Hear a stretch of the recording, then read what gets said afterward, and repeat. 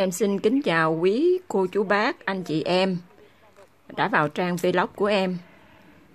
À, hôm nay em xin chia sẻ lại cái cách làm bánh bao nhân thịt cho các bạn mà nhất là đặc biệt là các bạn sinh viên vừa mới xa cha mẹ đi xa nhà cho nên à, cái cách chỉ của em nó hơi à, hướng dẫn à, chi tiết một chút cho nên video nó sẽ à, khá là dài nên nếu mà quý vị nào đã biết cách làm á, xin vui lòng thông cảm cho em nha. Và trước khi vào ờ, bếp làm á, em xin giới thiệu cho các quý vị cô chú bác mình ngắm cảnh một chút xíu về nước Đức. Đây là công viên gần bờ hồ gần nhà của em ở. Em ra ngoài em cho con chim này nó ăn ờ, bắp rang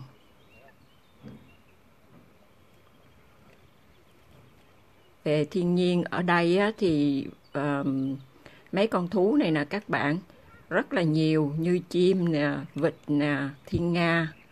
Nó rất là gần gũi với con người cho nên nó gặp người nó không có sợ đâu các bạn à. Em này rất là đói. Chắc là không có cái gì á cho nên bỏ bắp rang. Em ăn rất là ngon lành và bây giờ em xin mời quý vị vào cùng em làm bếp nha. Nguyên liệu gồm 500 g bột mì đa dụng, 40 g bơ, 250 ml sữa tươi, 100 g đường cát trắng và 7 g men nở. Đổ sữa vào trong nồi và mình làm cho sữa nóng nha các bạn khoảng tầm à, 40 độ thôi. Mình bật lửa thật là nhỏ. Rồi mình đổ đường vào luôn. Mình hòa cho nó tan đường ra. Các bạn nhớ, nó nóng khoảng tầm 40 độ thôi nha các bạn. Đừng có để cho nó sôi nha. Các bạn coi khi nó tan á, các bạn thử nè. Trên tay của mình, đó mình chịu được cái độ nóng ha. Đổ vào trong, cái sữa mình vừa tan, hòa tan với đường á, mình đổ vào chén một chút xíu sữa nha. Rồi. Và men nở nè 7 gram nha các bạn 7 gram. Mình bỏ vào trong sữa, mình hòa tan nó. Tại vì mình làm cách này á là để cho nó bảo đảm mình biết được cái men của mình là nó vẫn còn hoạt động tốt, chứ mình cũng có thể là mình đổ chung với bột mình pha chung cũng được. Mà mình làm cách này á, thì nó an toàn hơn các bạn ha. Và bơ nè các bạn, mình bỏ vô trong lò vi sóng của mình á microven á. Mình làm cho nó chảy ra nha.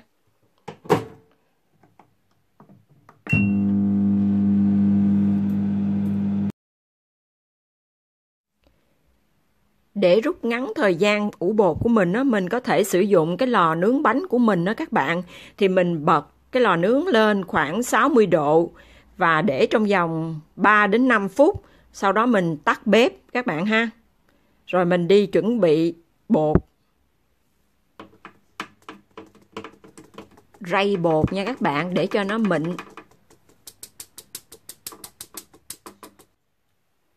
bột sau khi rây rồi đó các bạn, thì mình làm một cái lỗ, làm giống như cái thành giếng vậy nè các bạn. Đó. Rồi.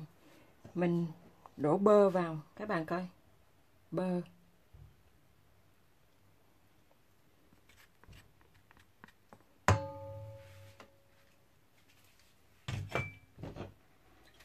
Và đổ luôn cái phần sữa hồi nãy của mình á. Còn lại đó, mình đổ vào luôn nha.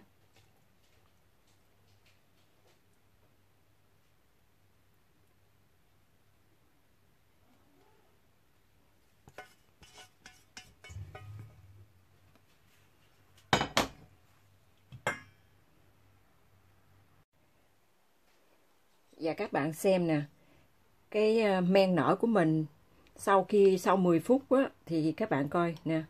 Nó nhìn giống như riêu cua vậy đó các bạn thấy nó nở trên mặt nè. Đó là lúc này là mình biết là cái men nở của mình nó hoạt động tốt đó các bạn. Rồi mình đổ nó vào trong máy trộn bột luôn nha. Máy trộn bột của mình mình dùng mình dùng cái đầu này để mình trộn bột nha các bạn.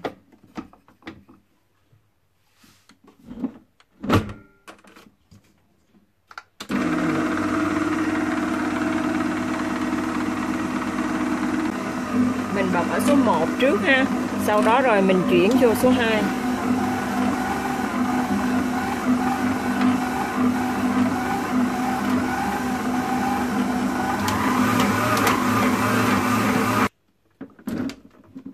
mình làm loại bánh bao này là bột nó hơi khô đó các bạn.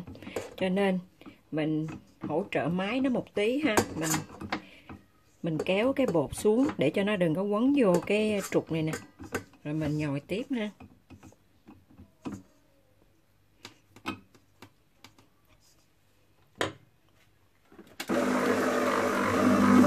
Mình trộn bột bằng máy á, thì thời gian khoảng 5 phút thôi các bạn còn nếu mà mình nhồi bằng tay á, thì khoảng 10 đến 15 phút.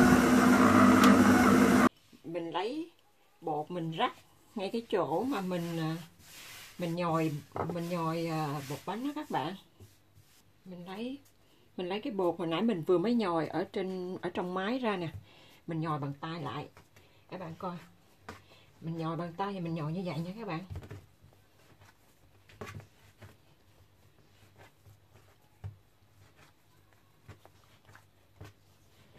Nếu mà các bạn không có máy á mà các bạn nhồi tay như vậy nè thì các bạn nhồi khoảng 15 20 phút nha.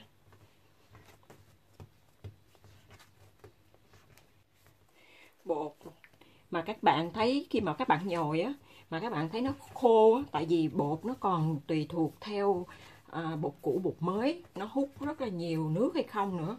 Thì nếu mà các bạn nhồi mà các bạn thấy nó khô á, thì mình có thể cho thêm gia dạ à, 20 đến ờ, 30 ml nữa. Khi mà mình nhồi như vậy nè các bạn.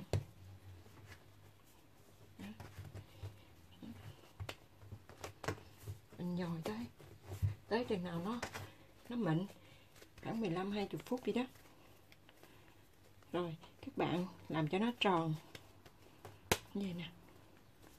Ha. rồi mình lấy lại cái thau bột hồi nãy đó. Mình rắc lên một chút xíu bột để cho nó đừng có bị dính nha. Rồi mình để cái này của mình vào trong. Rồi các bạn xem đây là cái khăn bếp mà mình hay dùng á. Mình nhúng cho nó thiệt là ướt như vậy nè các bạn. Rồi mình trùm lên ha. Mình trùm lên trong cái cái bột để cho cái bột nó đừng có bị khô quá các bạn mình đem vào trong cái chỗ nào á mà nó ấm ấm á mình cất thì nó sẽ um, nhanh nhanh nở hơn chờ chừng nào mà nó nở gấp đôi á là ok khoảng thời gian mà mình ủ bột á khoảng 2 tiếng Hồi nãy mình đã mở cái lò sưởi của mình á, nó để ở nhiệt độ khoảng 30 độ rồi đó. Bây giờ mình để cái này vô trong đây nha. Mình cất cái trong đây nè. Đó. Nó rất là ấm các bạn, tầm khoảng 30 độ thôi.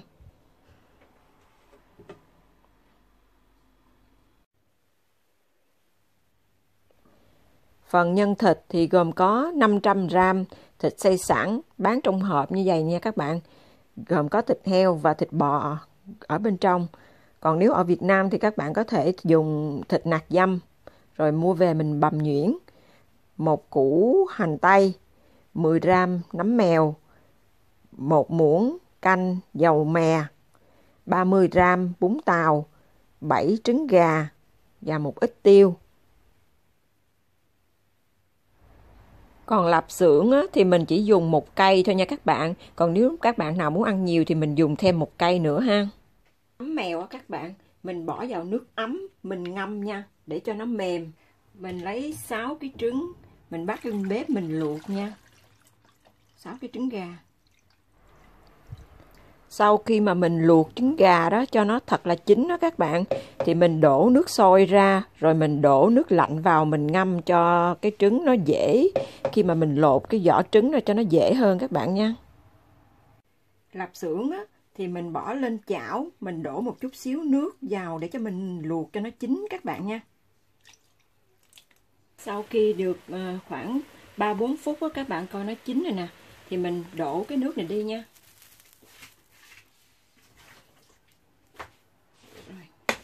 Rồi mình để lên đây mình để cho nó khô nè. Cho nó bắt đầu vàng vàng. Mình lăn trở nó chứ không thôi nó khét đó. Các bạn lăn cho nó đều nè. Đó đến lúc nó vàng mình tắt lửa nó đi nè. Đó, mà ở trên chảo nó vẫn còn nóng á, thì mình lăn chứ không thôi là nó bị khét. Đó. Thấy không? Đây là bên trong lạp xưởng nó có mỡ rồi đó cho nên mình không có bỏ dầu mỡ gì khi mà mình chiên nó.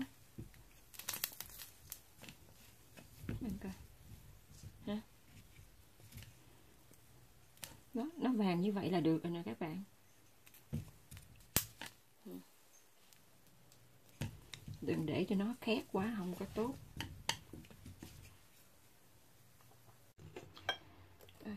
Các bạn để nguội cái um, lạp xưởng, rồi mình cắt. Các bạn muốn cầm tay cũng được, nhưng mà tại vì mình cầm bằng nĩa đó, để cho nó dễ cắt các các bạn.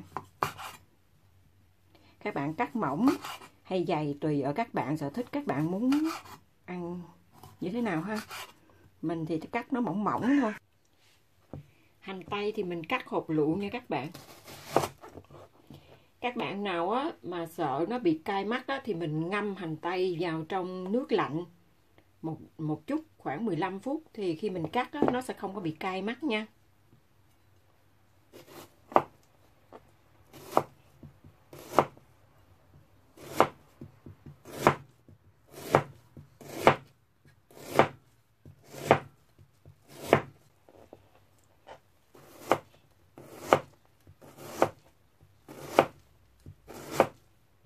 Để cho nhân của mình nó không, lúc mà hấp bánh nó không có bị ra nước nhiều đó các bạn, thì mình sẽ à, bỏ nó vô một cái khăn như vậy nè nha các bạn.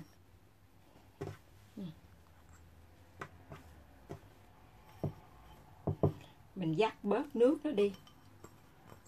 Còn nếu mà bạn nào mà hấp nhân trước á, khi mà mình hấp bánh á, thì mình không cần phải làm qua cái giai đoạn này nha nhưng mà hôm nay mình sẽ làm thử cho các bạn coi. Mình sẽ không có hấp nhân trước, mà mình để như vậy mình hấp luôn cho các bạn coi nó ra làm sao ha. Ừ. Bạn dắt bớt nước đi nè. Trong trong cái ờ, nó cũng không ra được nhiều nước hết các bạn. Nhưng mà nó đủ ướt nè. Nấm mèo sau khi mình ngâm nó mềm như vậy nè, mình rửa sạch rồi đó các bạn, thì mình coi nó có cái chân của cái nấm á, mà nó cứng á, thì mình cắt bỏ nó ra ha.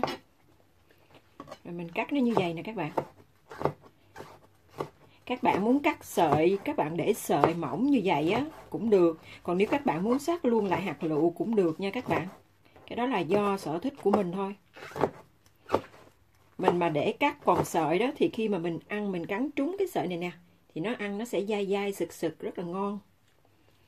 Còn nếu mà các bạn không thích đó có con nít đó thì các bạn cắt hột lựu mấy bạn có nấm đông cô á, thì mình cũng có thể dùng qua nấm đông cô nha các bạn. Bây giờ mình cắt nhỏ nó ra nha. Ừ. Các bạn muốn cắt hạt lựu cũng được mà cắt dài như vậy cũng được nha. Cái chân mình để ý mình lưu ý khi nào mà cái chân á mà mình cắt mình thấy nó cứng á thì mình cắt mình bỏ cái phần đó ra. Chứ không thôi lúc mà mình ăn á thì nó sẽ bị bị ờ, uh, cọm cứng rất là khó chịu.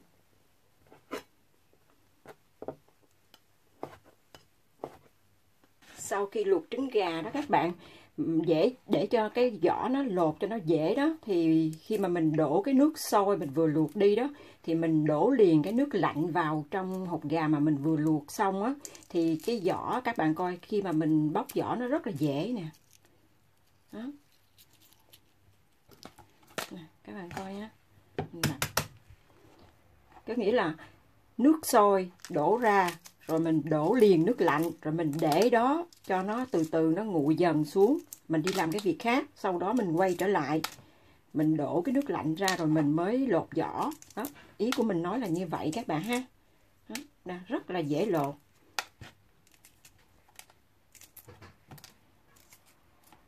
Đó, lột nè các bạn coi. Thấy không? Rồi bún tàu á thì mình bỏ vô nước mình ngâm cho nó mềm luôn nha các bạn. Đây, nửa ký thịt heo và thịt bò đã xay rồi. Mình bỏ vào nha.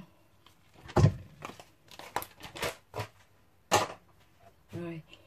Và hành hành tây hồi nãy mình đã giác khô rồi đó. Mình bỏ luôn nha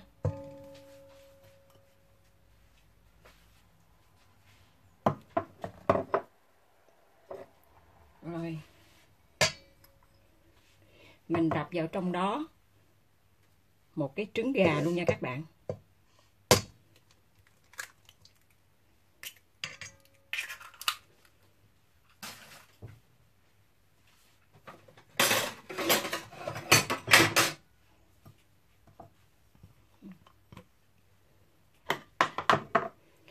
Và mình bỏ vào trong đó uh, các loại nấm hồi nãy mình đã ngâm và, và cắt rồi đó bỏ vô luôn ha. Muỗng teaspoon muối nha các bạn.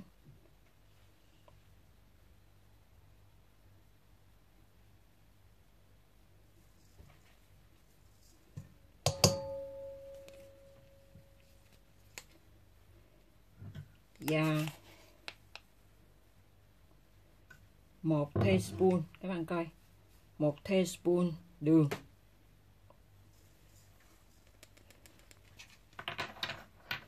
Và sau đó các bạn bỏ tiêu. Tiêu, các bạn muốn ăn nhiều thì bỏ nhiều ha, ít thì các bạn bỏ ít. Mình thì thích cái loại mà nó hơi ờ, xay ra như vậy nè, thì nó còn hạt á, khi mình cắn vào á thì nó rất là ngon. Rồi mình trộn nha.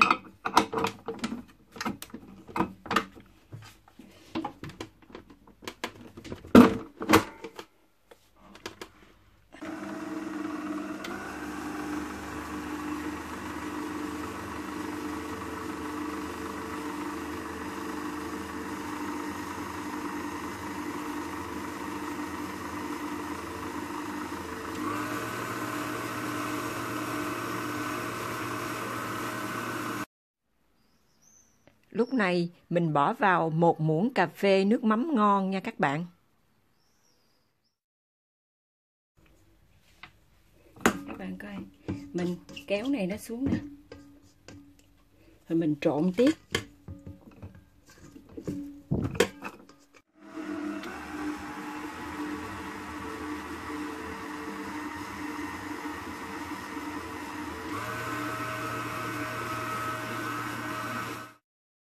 Bỏ vào trong đó cái à, nấm tàu còn lại nha các bạn.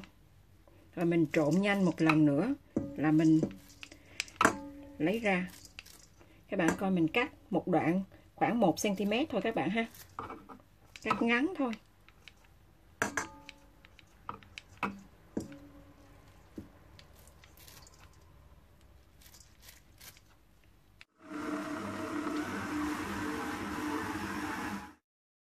Lúc này á, mình dít ra một miếng, các bạn biết không? Mình bỏ vô trong cái chén nhỏ đó, mình bỏ vô mirovan, mình hấp lên nó chín để mà mình thử coi cái ờ, độ mặn ngọt vừa ăn hay chưa, cho cái nhân của mình nó ngon cho chắc ăn đó các bạn.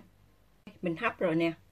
Mình bỏ vô trong lò vi sóng á, mình làm cho nó chín nhanh. Giờ mình thử nha các bạn.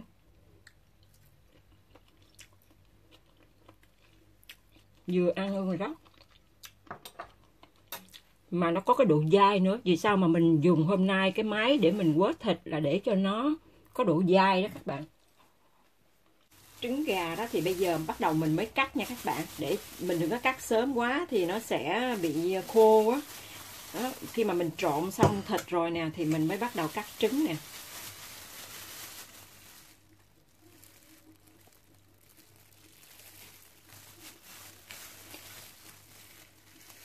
Các bạn cắt á, có nếu mà các bạn muốn ăn phân nửa như vậy thì các bạn cắt để luôn như vậy cũng được. Còn không thì các bạn muốn ăn ít thì cắt cắt ra làm phần tư ha. Thêm đôi ra như vậy nữa. Nè. Thì tùy ở các bạn nha ăn ít hay ăn nhiều thì mình luộc trứng ít hoặc nhiều. Bây giờ thì mình sẽ dùng bao tay để mình vo viên cái nhân bánh bao lại nha các bạn. Mình dùng cái muỗng này mình múc nha. Tùy các bạn muốn ăn nhiều hay ít, cái nhân to hay nhỏ thì tùy ở các bạn ha. Thì mình chia cái bánh này ra khoảng 10 14 bánh, hoặc là 12 bánh. Thì mình sẽ làm nhân như vậy, một cái. Thì mình để một cái trứng gà như vậy. Mình bọc nó lại nha. Mình bọc thịt nó vào trong cái trứng gà.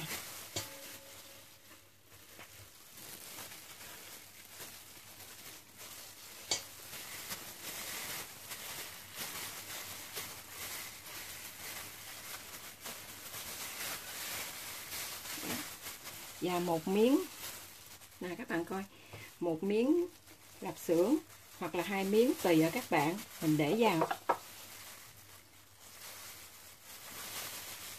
Ừ, mình do tròn nó lại. Ừ.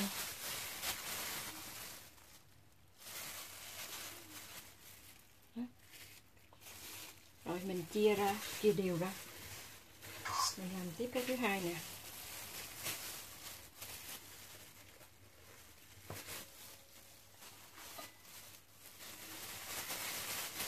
Lại các bạn ha.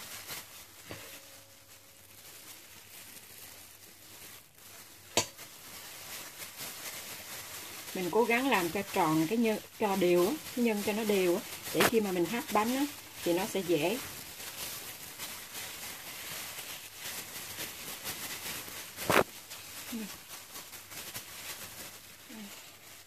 Mình để một cái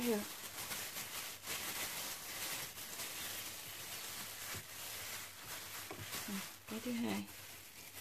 Rồi mình làm hết. Khoảng 12 đến 10 12 đến 14 cái nha các bạn. Rồi mình đã chia được 12 phần như vậy ra nha các bạn. Chia đều ra ha. Nếu mà bạn nào á mà thích hấp á, thì mình mang như thế này nè. Mình đi vào bỏ vào trong cái uh, nồi sửng cái nồi hoặc cái sửng hấp của mình á hoặc là microven cũng được. Cái cái lò vi sóng á thì mình hấp nó khoảng 10 phút đến 15 phút thì cái thịt này nó sẽ chín các bạn ha. Còn hôm nay thì mình sẽ không hấp trước cái thịt để cho các bạn coi nó có khác như thế nào hay không ha. Ở mình lấy cái ờ, cái bột nãy giờ mình ủ á, mình mang ra nha các bạn, cho các bạn coi nha. Nè, các bạn thấy không, khăn nó ướt á. Đó, nó nở nè. Wow. Hết rồi, nó nở gấp đôi luôn á. Các bạn coi nó nở nè. Thấy không? Nó nở gấp đôi cái bột hồi nãy mình làm luôn đó. Mình lấy cái tay của mình á, mình lấy bột á các bạn, mình thoa lên tay nha. Rồi.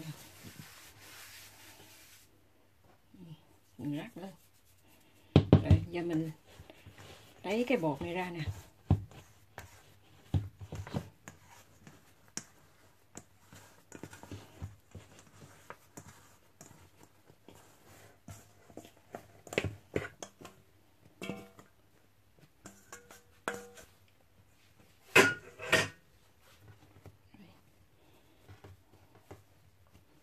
rồi mình lăn lại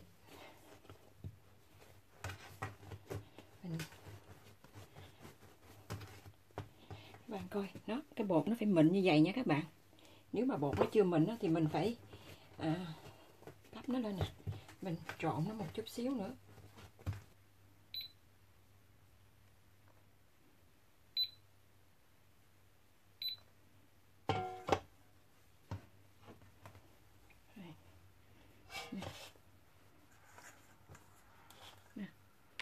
Các bạn thấy không? 860 gram. 862 rồi bây giờ mình chia bột ra nha. Chia đều ở giữa. Mình nhắm ở giữa nha. Mình cắt ở giữa. Thấy không. Cắt ở giữa. Rồi, mình chia đều ở đây ra. Thêm hơi lệch qua bên đây một tí, tại các bạn biết tại sao cái đầu á, nó hơi ít bột tí á. Mình hơi lệch qua đây tí xíu ha rồi. Rồi phần bên này á. Nè, mình lăn cho nó đều ha. Mình lăn mình lăn vậy nè. Cho nó đều. Rồi mình chia nó ra làm ba. Một nè. Một nè. Hai nè. Ba nè. Các bạn thấy không? Một nè. Hai. Ba. Ha? Đấy. Ba. Ở đây cũng vậy. Mình lăn cho nó đều đều tí. Ha. Rồi mình chia nó ra làm ba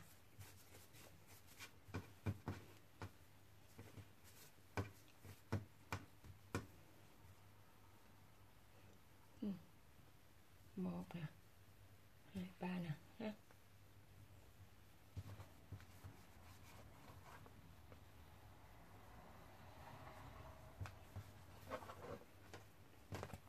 ba đó ở bên đây mình cũng chia giống như bên đây vậy nha. Bây giờ các bạn coi mình lấy cái miếng bột nè. Mình ép nó ra. Các bạn nhớ cái này là bề mặt. Mà hồi nãy mình nó nó còn láng á.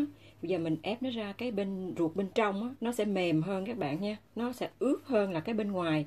Mình lẫn nó vào như vậy nè. Mình lẫn nó vào trong rồi mình do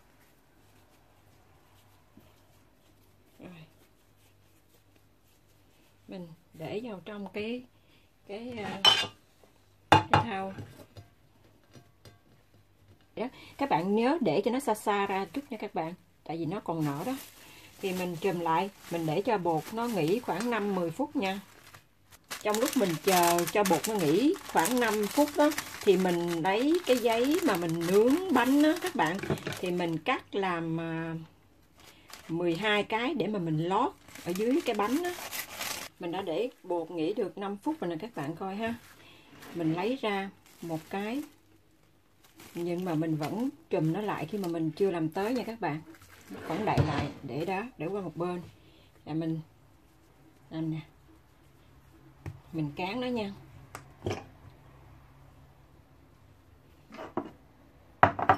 Mình làm cho cái bột ở cái, cái đồ cán của mình đó để cho nó không có bị dính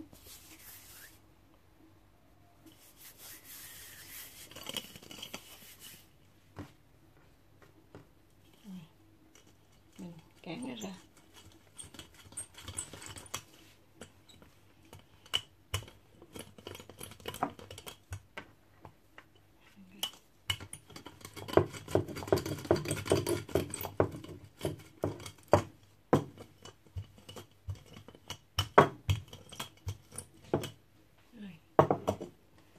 mình làm không khéo cũng được không có sao. Các bạn ha miễn là sao cho nó tròn ra như vậy nè.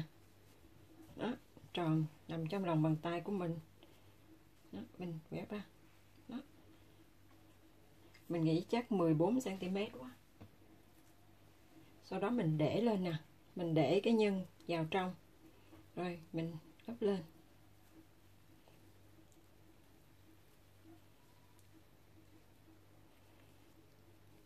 Mình do tròn nó cũng được các bạn. Mình không nhất thiết phải ờ, làm đẹp đâu ha. Nếu mà các bạn không có khéo tay á, các bạn túm nó lên như vậy nè. Các bạn túm tròn nó cũng được. Còn không thì mình xoắn, mình làm theo cái kiểu kiểu hình cũng được ha.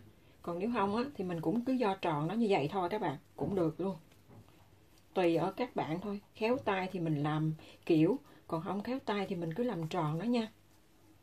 Nè, mình xoa mình làm tròn. Đấy. Như vậy thôi. Mình do cho nó tròn ha. Rồi mình để nè. Cán.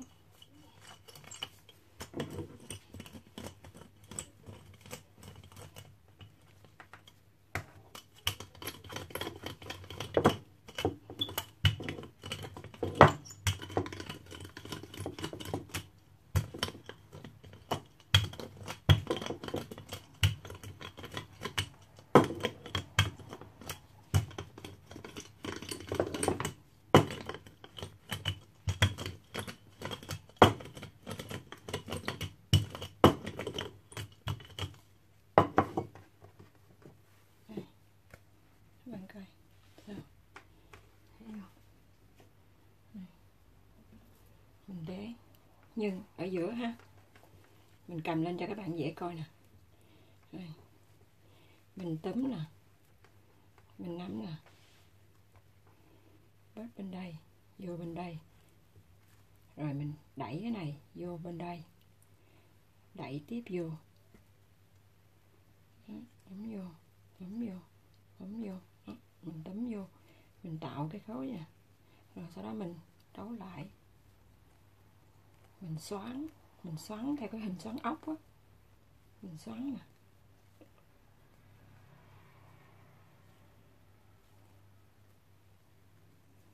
Đó các bạn. Rồi do cho nó tròn. Đều. Như vậy ha. Đó, làm xong bánh bao như vậy rồi nha các bạn. Rồi bên đây thì mình bắt cái uh, cái sửng lên và để cho nước nó phải thật sôi như vậy nha các bạn.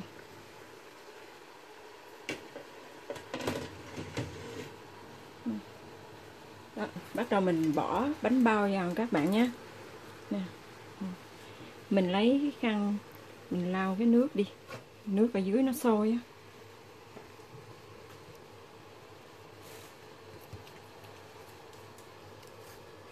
Bạn để cho nó xa xa ra ha.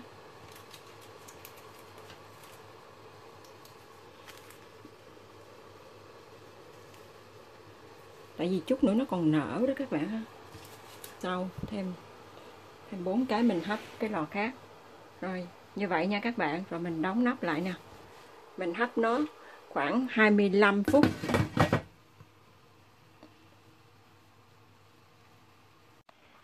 À, thỉnh thoảng các bạn mở nắp ra để mình xả cái hơi nước ở trên nắp đó, nó sẽ chảy xuống dưới cái bánh của mình bị nước nha các bạn.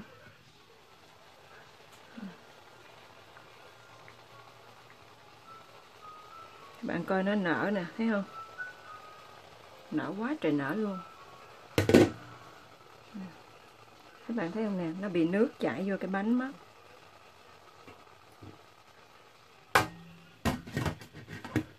Còn nếu bạn nào mà có cái nồi nhỏ đó, thì mình lấy cái khăn bếp và mình chùm cái nắp lại để nước không có rơi xuống các bạn ha.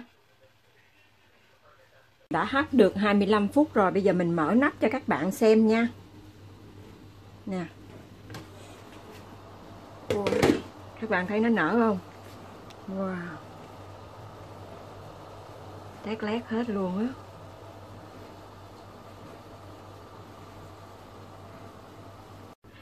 Nó nở bung ra luôn nè. Kiểu cái này thì mình, cái này thì nó không bị bung nè. Đó. Mình dùng cái à, đĩa trắng để mình lót ở phía dưới để cho các bạn coi cho nó rõ. Cái bánh mà mình làm từ à, bột mì á của công ty Đức sản xuất đó các bạn. Nè khi mình làm ra cái bánh bao á thì cái màu bánh bao nó chỉ là màu ngà ngà thôi chứ nó không có trắng tinh nõn nà nha các bạn. Ừ. nhưng mà về sức khỏe thì mình nghĩ nó ăn sẽ rất là tốt hơn đó các bạn à mình cắt cái bánh bao ra nè các bạn. Các bạn xem nè nha. Nè. Nếu mà các bạn hấp trước á, thì cái bột bánh ở dưới đây nè nó sẽ không có bị ờ, ướt như cái này ha tại vì mình thích ăn cái phần ướt này á tại vì nó có nước thịt đó nó rất là ngọt và ngon. Cho nên mình mới à, à, không có hấp trước. Còn nếu mà các bạn không thích thì nhớ là hấp trước nha các bạn. Ừ. bạn coi cái bột bánh nè.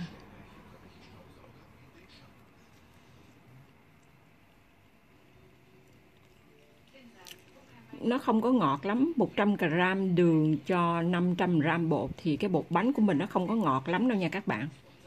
Nếu mà các bạn nào thích ăn ngọt á, thì để 110 gram. Còn mà ăn uh, uh, kiêng á, thì làm 80 gram thôi. Đó, nó cũng nở nè thấy không? Nè bột bánh nó cũng rất là nở và ăn rất là ngon các bạn. và nó còn có cái lớp da nè, các bạn nè. Thấy không? Nè. Lớp da nè. Thấy không? Ừ. Ừ.